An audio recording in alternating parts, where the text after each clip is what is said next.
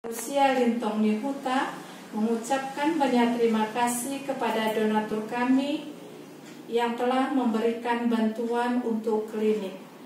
Segala kebaikan dari donatur kami kami ucapkan terima kasih dan semoga Tuhan selalu memberkati kita semua. Salam dan terima kasih.